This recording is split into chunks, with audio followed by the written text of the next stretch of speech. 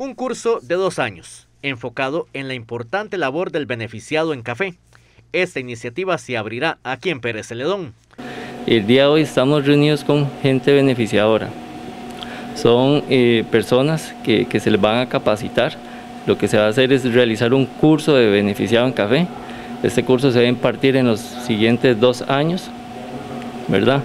Eh, va a constar de ocho módulos. En este curso va a abarcar desde lo que es el recibo de café, lo, ¿verdad? lo que es el proceso de café, el chancado, lo que es la fase seca, la fase húmeda, ¿verdad?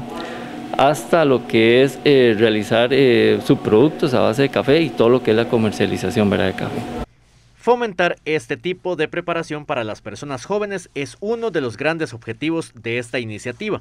Nosotros eh, en el café hemos eh, tratado de realizar una integración ¿verdad? por parte de las personas jóvenes ¿verdad? Y, personas que, que tal vez no estén tan metidas en el sector. ¿verdad? El día de hoy tenemos eh, un promedio de edad de 30 años ¿verdad? Que vienen a recibir este curso. La importancia de, es prepararlos, ¿verdad? porque son gente, son personas que están en, el, en el área ¿verdad? de microbeneficio. ¿verdad? Y como todos necesitan una, una, capacitación y un empujoncito, ¿verdad? Como dicen. El curso tiene un respaldo muy importante. Vea, algo importante de este curso, eh, don Johan, es que este curso es avalado por el INA, ¿verdad?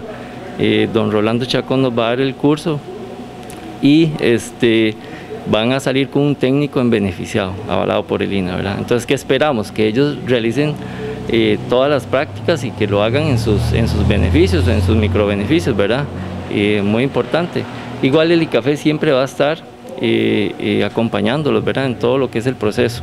Iniciativas en pro del sector cafetalero en Pérez Celedón.